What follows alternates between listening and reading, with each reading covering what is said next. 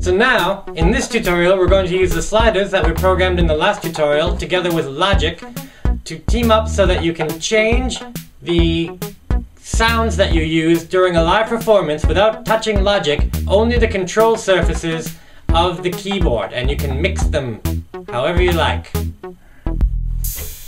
Okay, here I'm opening a new project in Logic and I'm just going to add five new software instruments that are all different kinds. Okay, so here I added a piano, a synth, a string ensemble, a organ, and a bass. And now we're going to go and open up the frightening window called the environment window. So we go up to Windows and environment, there it is. And here's the five things that I selected. And we're going to go to edit copy. And now we're going to go to the window, uh, little sub window over here. It's set to mix up. We're going to go to clicks and oh, clicks and ports. Scary, huh? Look at that. What does that even mean? So, what we're going to do now is we're going to paste in the instruments from the other window and paste and here they are.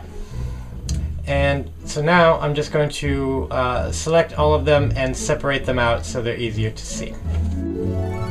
Okay, we got them all nice and separated. And now what we're doing is we're going to delete a couple of these cables. There was one going to the sequencer input and another one going from the keyboard. So we're just going to select those. Eh, meh. Just select those sort of drag around it. Around and oh, no, not quite. And then you sort of edit, you just grab. I'm just going to select the input view and then hit the delete button like that. Okay, now the cable's gone. Which means that if you play something, nothing will happen. Nothing. Nothing. Okay, now we're going to add a transformer into this mix here. And you do that by going to the new menu and selecting transformer. And here we go. Go up to new transformer. And there it gives us a transformer there. I'm just going to drag that down here and double click on it. Now this is a quite confusing thing, but what we're going to do here is set this to filter matching events status equals control channel is unequal to 8 6 7 8 data byte is equal to 7 okay and then so this is for channel 8 and I'm just going to rename this. I'm going to leave it named the same thing. And then I'm going to add another one in and I'm going to do the same thing for channel 9 like this. Okay, now we have two, two, mm, two transformers here and we need to hook these up to our control strips over here. So what we're going to do is drag a cable from the transformer to the first control strip and then the next transformer to the next control strip, like this. So drag from here and to then plug that in and then drag from here to plug that one in, like that. And right now, this will do nothing still. But if we hook everything, every one of these transformers up to the keyboard, then pretty soon we'll be able to have sound.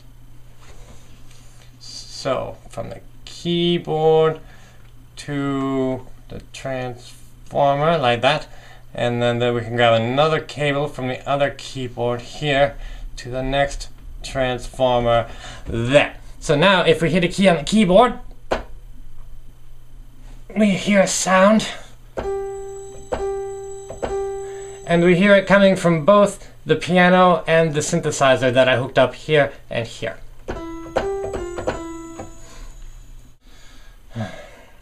We need to get the keyboard in the shot so you can see how when you change the keyboard, the sliders change. Hmm.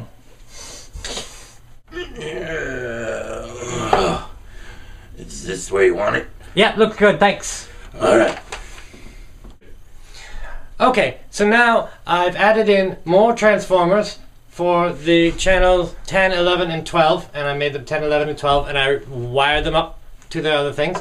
And now, as you can see, when we move these sliders, the sliders for each of the instruments also moves. So, like, see that go up? And back down. And back up. So if we play a note, we can hear that, and then we can mix. There's some more organ. There's some strings. I forget what that is, some sort of synth thing. So now when you're playing live, you can use the sliders to mix any sort of, if you want to go from piano,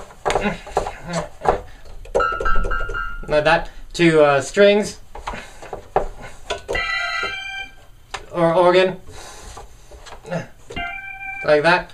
And then you don't have to change anything on the software. You can just use the control surfaces on your keyboard to do the things that you need to do. Okay, in this tutorial, we're going to learn... No, we're not. learning.